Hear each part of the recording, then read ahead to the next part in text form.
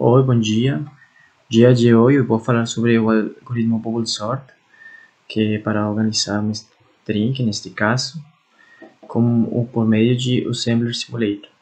Então, primeiramente, nós temos o algoritmo base, que o professor falou na classe, até aqui, mas eu vou explicar passo a passo, e depois fica meu, meu algoritmo, com todos os passos, para ser a organização então, isso até aqui. Então, ou seja, primeiro set. Primeiro passo, como você pode ver, primeiramente nós temos uns comentários sobre o que vamos fazer. Depois, nós definimos nosso string aqui na variável hello. E, primeiramente, o sistema tem um jump, onde salta estes passos e começa desde aqui. Então, primeiramente, como vocês podem ver, aqui nós temos as posições de nosso string e eh, agora ficamos em esta posição que é 6, que é o, a definição de move, 2 é a definição de o registro C e 2 é uma definição para registro hello. Então, esse por um momento. Depois, ele faz o salto de aqui a aqui, onde aí o registro D vai, vai tomar a posição 232, que aqui, como vocês podem ver, a posição, esta é a posição dos 31, então D vai tomar valor aqui, que é, em, estes espaços são para o output, então é, todo valor que vai ser é, aqui, posto aqui, vai aparecer aqui nesta ventana de output. Eu vou falar mais disso mais adelante. Já com isso, definindo todos os valores, nós vamos a chamar é, a, a variável print, a linha print, por meio de call. De call é muito parecido do jump, mas ele faz como um guarda um, um valor, uma posição mais bem em, em a pila, em stack, porque depois de terminar o que, acontece, o que fica em print, ela volta. Então, por um momento, vamos para print. Aqui ela guarda os valores de A e de B. Então, nós podemos olhar aqui. Aqui, primeiramente, se chama para print, barra, guarda os valores de A, aqui você pode ver aqui, por exemplo, o movimento, aqui outro, aqui, e assigna o valor de b como zero. Mais adelante eu vou falar disso, que é para a finalidade de terminar o algoritmo. Agora começa o loop, onde A, o registro A vai tomar o valor de C, de primeiro elemento, que como você pode ver é 87, aqui, então você vai ver a mudança aqui de valor de A. Aqui agora A tem valor de 87. Depois, é, que 87 é a representação de W. Agora, esse valor vai ter que ser é, é, publicado aqui em output. Então, por isso, na posição D, o valor na posição D vai bater A. Então, agora, se você corremos aqui, você pode ver que 87 é já publicado aqui, que é a apresentação de W, w desculpa. Agora, como vamos a recorrer todos os elementos, precisamos de incrementar C e de incrementar D. Então, incrementamos C, incrementamos D. Então, agora, C, agora, e hacemos um comparativo. Porque, como B tem um valor de 0 e, e, e se é, corchete C tem valor de zero, que é a finalidade de string, aqui o jump vai terminar e o algoritmo vai terminar. Mas agora, como é, é, é, corchete C ainda não fica ali, então ele vai voltar para o loop. Então você pode ver aqui, vai comprovar, são diferentes porque CMP mira se são é, uma comparação entre eles. E GNS mira el if tal volta. E assim sucessivamente. Em todos os elementos isto é o que o professor falou anteriormente sobre como fazer isso. Depois de isto depois de acabar o loop nós precisamos de ter de novo os valores de início de B e de A. Por isso nós sacamos esses valores de a pila como você pode ver aqui anteriormente ficava nessas posições mas ela voltou então é isso. Agora aqui em red ela volta aqui para cá e a seguinte posição é cal order. Agora eu vou falar sobre meu meu algoritmo que é como eu defini aqui. O, o seguinte step é este. Então eu chamo order aqui então esta variável. Então, aqui que diz, é, a propósito de isto é que a, a, o registro 6 vai ter o valor de 237. Que é 237? 237 é o último valor que foi organizado da string, aqui no route. Então, este é 237, que é o meu limite, e D, o registro D vai ter o valor de 232, que é o primeiro elemento. Então, este, estes dois elementos são meus limites. Agora, já com isto, eh, eu preciso de definir A, a variável A, vou, vou a, ao registro A, vou a dar-lhe o valor que fica em D. Então, como D é 232, então, então o valor seria 87. A vai tomar o valor de 87. Vamos olhar isso. Então, é, estamos aqui. Aqui. 72, aqui. Então, depois, você pode ver que agora A tem um valor de 87. Que é o que eu precisava. Agora, ele vai para fazer aqui ela, ela faz um comparativo sobre os elementos, porque Aqui ela compara se C e D são iguais, que como eu falei antes é o princípio e fim do limite. Então, que é o, o propósito disto é terminar a iteração, mas como ainda não são iguais, então aqui não acontece nada ainda. E a volta a tomar o valor de D, que tinha 87, e depois toma o valor, B toma o valor seguinte. Então, B toma valor não de 87, sino mais de 111. 111. Esse é o valor de B. Você pode ver aqui. B agora tem um valor de 111.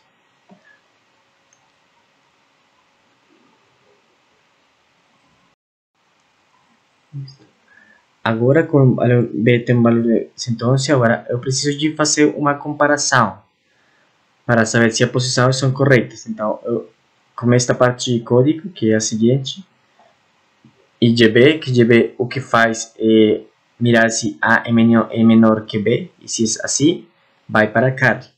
Você pode olhar essa, essa, esse método aqui. aqui então, aqui, você pode ver. E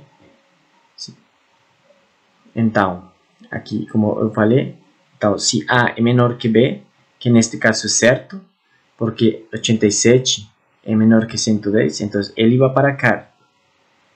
Em carry, o seguinte passo é simplesmente, como as posições são corretas, ele vai incrementar D, uma unidade, move o elemento, e depois volta para, para o loop. Então aqui, revisa, como você pode ver, de, aumenta um valor e volta para o loop, aqui.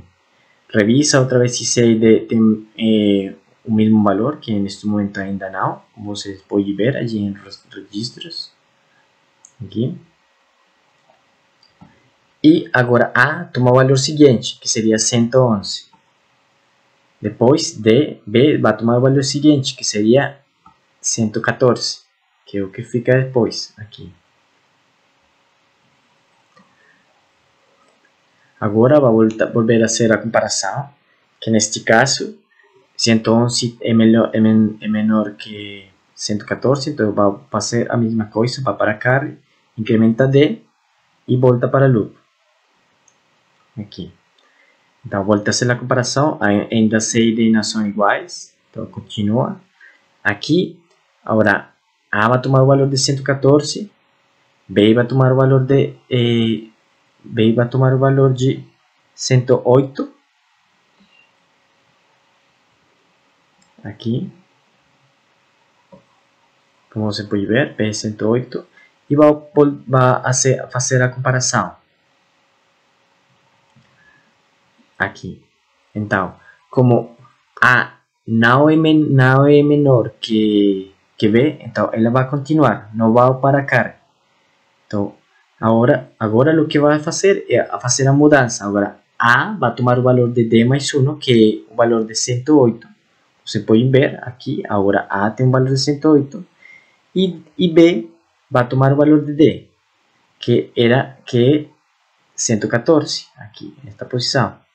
Que era onde ficava o elemento interior de A. Então, o seguinte, você pode ver. Então, aqui nós fizemos a mudança aqui, mas não em a secção de output. Então, por isso eu preciso de cambiar também estes valores. Para isso, você pode ver aqui,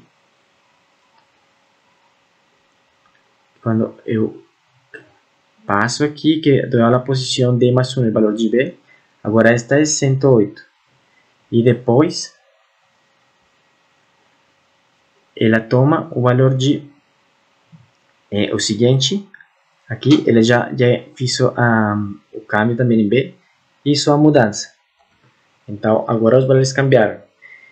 Ele, aqui, depois, ela vai voltar a ser o comparativo, que agora A é menor que B, e manda todo para eh, revisar isso e vai para cá.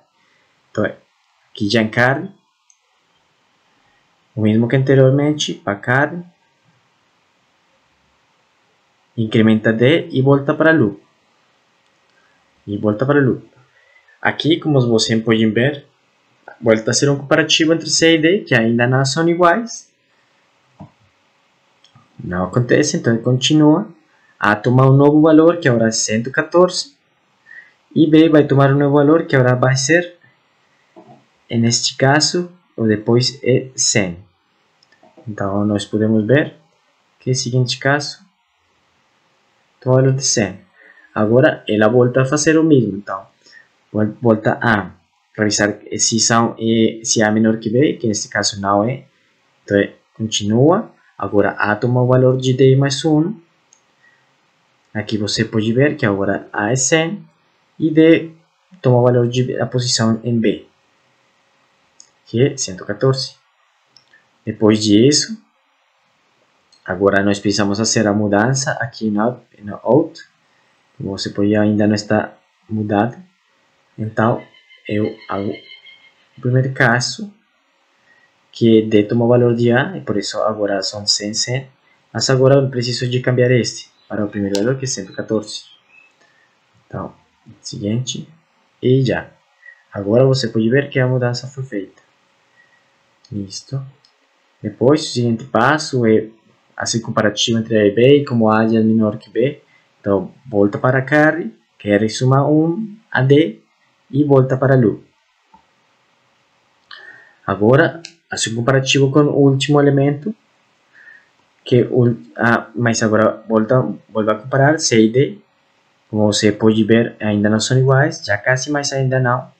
Então não acontece nada aqui. A toma valor de 114 é, B toma o valor seguinte, que nesse caso seria 33. E seguinte, assim comparativo, o mínimo acontece, 114 não é, não é menor que 33, então ela continua, assim a mudança, 114 toma valor de 33, B toma valor de 114, acomodar os valores aqui, a saída Aqui, como vocês podem ver, agora mudou. E agora, seguinte, 114 já fica final. que é o maior elemento de todos. Então, depois de isto, ele vai para carry, compara. Agora, A é menor que B, vai para carry. E aqui, acontece algo interessante que agora D vai incrementar no elemento, incrementa. E agora C e D são os mesmos elementos.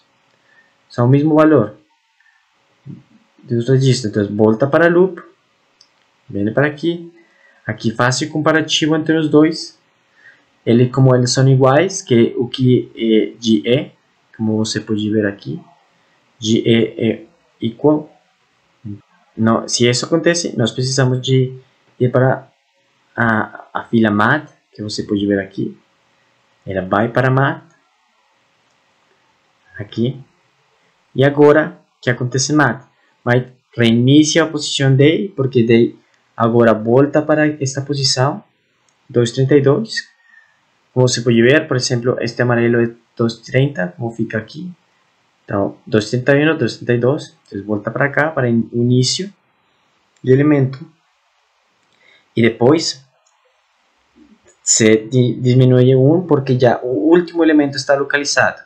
Então, agora precisamos fazer a iteração até este elemento. Por isso, se perde um elemento. E depois disso, faço a comparação de novo e aqui hace outra vez a comparação. Este propósito é para terminar o algoritmo, porque com isto, se C e D tem o mesmo valor, que como definido aqui 232, que é quando fica aqui, significa que já recorreu todos os elementos. Mas como isso ainda não acontece, então ela volta para loop. Então você pode ver aqui, step, diminui o elemento C, volta para aqui, assim o comparativo entre C e D. Não, como não acontece, volta para aqui e vai para loop. Aqui voltou para loop. Agora ele volta a fazer a comparação de novo. Então, por exemplo, aqui, como C e D não são ainda os mesmos, então continua Agora A volta a ter o valor de início, que é 87, como vocês podem ver aqui, volta a ter o mesmo. E de tomar o seguinte valor, que neste caso é 111. Então, que é 111 que, que fica aqui. Então, ele começa a fazer o mesmo procedimento. Então, ele faz o comparativo, com 87 e 100 melhor de 111, então ele vai a carry, carry suma 1 de ele volta aqui, a iteração, a comparação de C e D ainda não são iguais, a cambia para eh, o valor de D, que seria 111, aqui como vocês podem ver, e o seguinte step é, é B tomar o valor de, cento, de B tomar o valor de 108, neste caso, como vocês já podem ver aqui, next step, 108, e fazer comparativo, o mesmo que aconteceu antes. Então, ele sempre vai fazer isso e como você pode ver aqui, acho que aqui, perfeito. Eu vou seguir o primeiro step. Aqui vocês podem ir vendo como se acumulam os elementos nesta parte. Como são corridos, corridos. Recorridos. Então, isso vai o valor. Então, agora, por exemplo, neste caso, já este ficou como último elemento e estamos em, em passo... Ah, ele voltou, já ocorreu, voltou, e assim sucessivamente, até organizar todos os elementos. Todos os elementos. Então, aqui, volta aqui, assim comparativo. E o mesmo aqui, volta, a acumulação, aqui como vocês podem ver, vai ir acumulando todos os valores. Elemento, aqui, vai fazendo. E o seguinte, vocês podem estar vendo como 37 vai rasgando-se mais e mais no início. aqui. Por exemplo, aqui, aqui neste caso, é, é interessante porque agora está a ponto de ser igual a C. Então, seguinte, D tomar o valor seguinte, que agora é 2,33. Agora é o mesmo, mas isso já aconteceu antes, mas agora ele vai ser comparativo, se são iguais, agora ele vai para mat, mas D toma o valor de 2,32 e depois D resta um valor, que D se ele vai restar, que vai ser 2,32 também. Seguinte, D e C ambas são 2,32, o que significa que eles ficam aqui, nesta posição. Então, então, por isso, agora ele vai ir, vai ser o comparativo aqui e vai ir para cá, porque são iguais. Vamos olhar. Seguinte. Aqui está o ser comparativo. E vamos mirar e envia para aqui. E já, como já os elementos recorreu todos, todos os valores, e já ficou aqui, então o algoritmo termina, que é read. Seguinte já terminou o algoritmo. Então, como você pode ver, aqui os elementos ficam organizados, todos, e também este é a representação de como são os elementos. Então, eu queria falar disso na classe de hoje, então, eh, muito obrigado e boa tarde.